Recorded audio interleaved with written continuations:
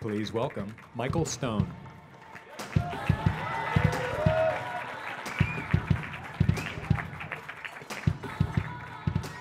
All right, good evening.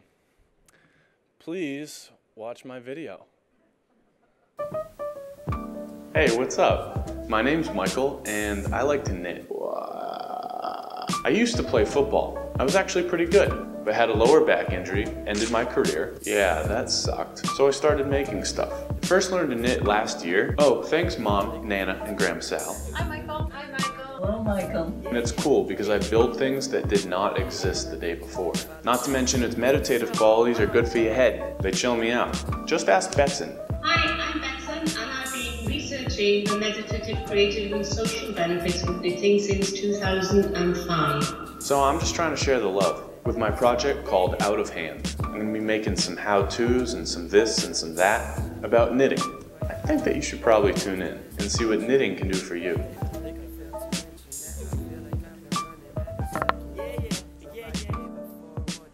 All right. So, hey, what's up?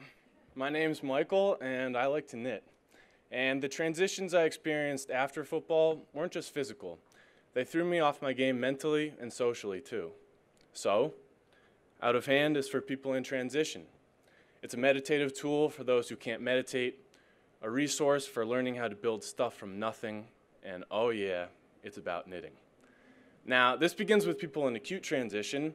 Excuse me. Now, this begins with uh, people in acute transition, like career ending sports injuries. Yeah, sure. And also the nearly 8 million people in the US with PTSD. From there, it trickles down to everyday cases of anxiety, stress, and pain. Now, these numbers are big, but they don't really tell the full story. Like that of Chris, an Air Force Special Operations veteran who feels severely limited from doing the one thing he truly feels called to do, which is to continue fighting and serving for his country. I met Chris a couple weeks ago at a workshop I run at the VA, the Veteran Affairs Hospital over on uh, First Avenue.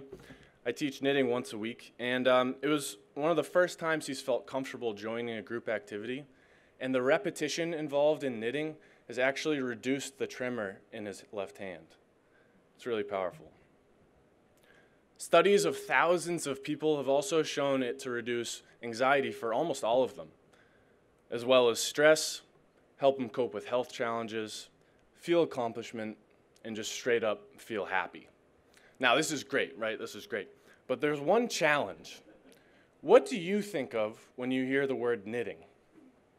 Well, that's kind of what Google thinks too, which is fascinating, both from a historical perspective, which you can ask me about after the show, but also because men actually like it.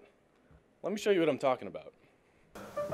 All right, guys, so my name is Michael, and I'm here with my friend Fani. What's up? My name's Ifeanyi Momah. Currently playing with the Arizona Cardinals. You ever knit? Never knitted a day in my life. Today we're gonna learn. I'm excited. We're gonna tap it to the left of this first stitch. Like, how would you how would you compare that? Swim though. Swim, come on. Or if you're running around, So maybe we should call it the swim technique. the swim tech. I kind of like that. Swim move. Swim move. Oh! Kinda am relaxing the eyes, you get the hang of it. Looking at you guys. Knit. Loop. Boom. What's up? That's on me. And that's a wrap, people. That's on faith, bro. That's on faith. Alright, sweet. So I started making videos. And so far we've got over 7,000 views, which isn't, you know, too bad. And uh, I was really doing this to share the love and also break down some of these cultural barriers. Some other communities I reached out to for this uh, were random people on the subway who were brave enough to try something new, and some really talented kids that understood the power of making with their hands. My videos also serve to teach knitting with four short tutorials that make it insanely easy to learn. So, in this knitting market, there's some flourishing brands, but all of them are really focusing on the fashion of knitting, whereas we focus on the process. And in the wellness industry, there's activities like yoga and there's you know meditative apps like um, like Headspace, but we make these benefits both physically and financially accessible while offering tangible progress along the way. You get to make stuff, guys. It's really cool, all right? So, within the alternative medicine market, we're still using yoga as a really good benchmark. One, because they offer similar benefits, and two, because in the past 10 years, it's really become much more of a, a common activity, um, especially in the United States. And that's exactly what I'm trying to do. My goal is to make knitting an accessible and common wellness practice. But honestly, yarn businesses have low margins. They've got low consumer awareness from, from the consumers I'm looking for in a niche market.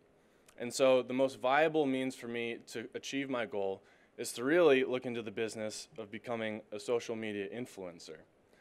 So instead of making videos to create awareness to help support some other business that I'm working on, I'd rather be in the business of making videos themselves. So right now, I'm looking for grant funding of $25,000 to continue making really high quality videos, as well as to support my workshops that continue weekly at the, at the Veteran Affairs Hospital. And towards the end of this phase, I want to make uh, knitting kits and a Kickstarter. And this is to both productize the experience, but also as another way of spreading awareness about it, especially since uh, the sale of 375 of these will help 125 veterans with knitting kits of their own, people who really need it. In phases one and in phases two, I'm basically going to be leveraging this growing awareness to do cool stuff. Because how awesome would it be if Ifeanyi and the rest of the Arizona Cardinals were teaching veterans how to knit too? So thank you guys so much for hanging out with me today. Um, I really encourage you to check out my YouTube and also grab some knitting sticks and join with me in knit. Thank you.